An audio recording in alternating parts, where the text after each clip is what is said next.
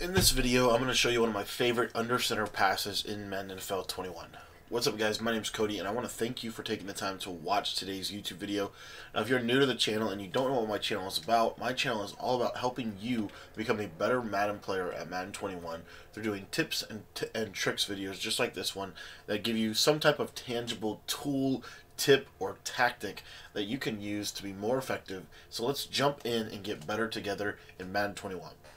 Alright guys, so we're taking a look at I form close today out of the Las Vegas Raiders playbook.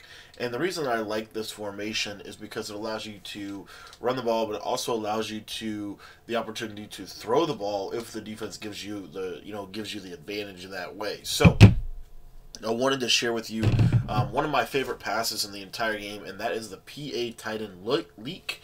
And we're going to jump right in here. So, uh, the first and foremost thing that I would say is if you can run this to the left side of the field, meaning if you could run the um, the left on the left hash mark, that would be perfect. Now, really quick before we go too far into this, I just want to let you know that if you have not already joined my text message membership, it's a great opportunity for you to be able to get high level Madden schemes completely for free. Every single week, I release a new scheme in my text message membership. These are very high level schemes. In last week's video, we released the trips tight end, which is very similar to. Um, which is also in the Las Vegas play- playbook. So you could come out in trips tight end. you could then audible down to the I close and run both of these schemes in conjunction. So if you haven't gotten that text membership, my number is in the top left hand corner of the screen.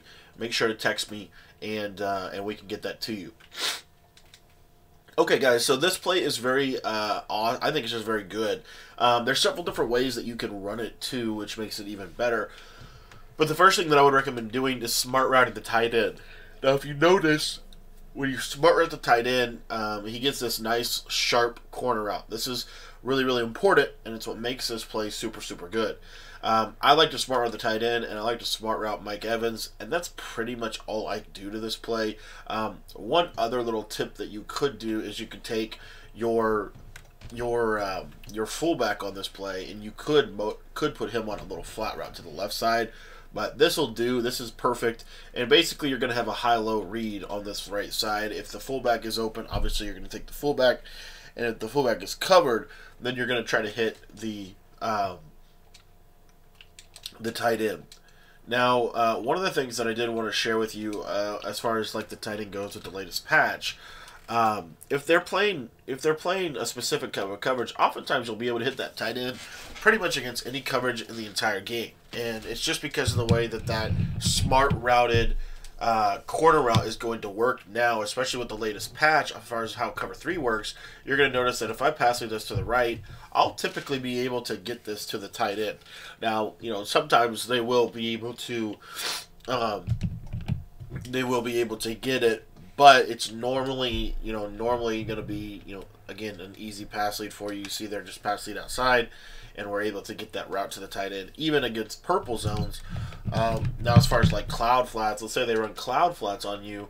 Uh, let me just show you what this looks like against a cloud flat. You'll see here just pass lead it to the right, click on, and as you can see, you're going to be able to hit that against cloud flats. So you're able to beat curl flats, you're able to beat cloud flats, you're able to beat seamed flats, every zone of the game, that corner route is going to work against uh, with cover two. The only thing that I would say is cover two does a little bit better of a job. But the one window about, or the one thing about cover two is there's often this window right here um, and I threw it a little bit too late. But there is a little bit of a window between the linebacker and the and the corner that you can hit. The other thing about cover two um, is you're going to have this post over the middle of the field. If they run cover two, just pass this skinny post up, and as you can see, you're going to have a nice read against that coverage. This passing play beats every coverage in the entire game, and the beauty of this is it's all from this one uh, under center formation that is really really good. Obviously, you want to force them to do, if they're not going to guard the flat, take it every single time. Most of the time they will, especially in this in this offense. Most of the time you'll see something like this right here, where you've got hard flats on the outside, and that's where that corner route is really going to come in handy. As you can see, it, that's going to kill um, hard flats on that side. Now you might be asking, well, what about man coverage. You know, what are you what are you going to do against man coverage? That's more of what the post routes are for. The tight end route will will sometimes beat man. Um, he won't always beat man. A lot of it does depend on his route running. But you'll notice that this post route uh, both of your post routes will beat man-to-man coverage. So, you know, again, very simple, but just smart rate your tight end. And again, if you just watch, like right here, the tight end pretty much, I mean, almost almost was able to beat that coverage. A lot of it depends on the route running of the tight end as far as whether or not he's going to be able to beat man-to-man coverage.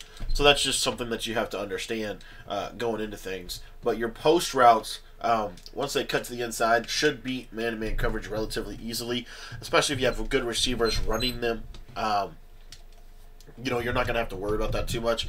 Now, uh, what about like cover zero? With cover zero, um, you should have pretty good, pretty good openings here. The tight end should be able to get open. Again, it's all about route running when it comes down to man coverage. So if you don't have it like, like um, Gronkowski doesn't have the route running to be able to get open, but if you're playing in MUT and you have like a Jermichael Finley or something or Darren Waller, um, that's going to get open. The other thing is, and there I threw it a little bit too early. I got to wait for him to cut, but that post, that skinny post from this from this play, um, should be able to beat press or cover zero cover zero style of man coverage. So I'll show you here uh, one more time here. Just wait for him to cut inside. That's what we're looking for. Click on, and as you can see, able to beat man to man, um, able to beat man to man coverage. And then um, another coverage that I haven't touched on yet is Mable coverage. So what do you do, you know, when they're running a lot of Mable coverage? One of the most popular coverages in Madden. Uh, I think it's one of the best coverages in Madden. But what you'll notice here is this post route will do a really good job. But the problem is when it gets to the sideline, you see that the Mable coverage can handle it. So um, really, what you're going to have to do when it comes down to it with Mable coverage is you're going to have to work your you're going to have to work your um, your post routes, and you're going to have to work both of them. So whichever one they don't go user, um, that's that's what you're trying to hit. So let me show you what I'm talking about here. So these are our post routes, and what you'll see here is oh they don't go that way. Okay, I can hit that right there quick. So if they go to the right side first, then I'm looking left. If they go to the left side first, then I'm looking right um, from a post route perspective.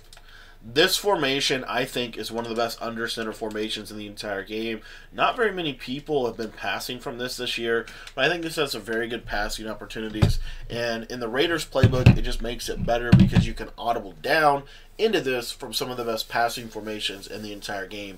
And obviously, you can run the ball from this with the stretch, with the power out, and with the ISO, as well as the halfback toss. So that is uh, one of my favorite plays from I close. Hopefully, this. I hope you get kind of started to get the wheels turning on how to pass from under center pro sets. Um, I think this, in combination with strong close, are two of the best under center passing formations in the entire game. So, make sure that you guys check out the text message membership. Also, I'm working on a bunch tight end ebook out of the Las Vegas Raiders playbook that should be out today. So, if you want to get uh, a little bit of a discount and early access to the ebook, go ahead and make sure you text me so that I can get you on our list, and then we can send that to you as soon as it's released. So, thanks for watching today, guys. I want to personally invite you to our stream tonight at 10 o'clock p.m. Eastern Time, where I'll be running um, this offense and kind of sharing with you kind of how it works. And also, like I said, I just want to remind you that if you want to get that ebook as soon as it's released and if you want to get a discount on it, go ahead and text me. All of our text message members are going to be giving free, or not free access, but giving early access and are going to be given um, a little bit of a discount on the offense as well, which I'm really, really excited about. So thanks for watching this video, and we'll see you guys uh, on tonight's stream at 10 o'clock.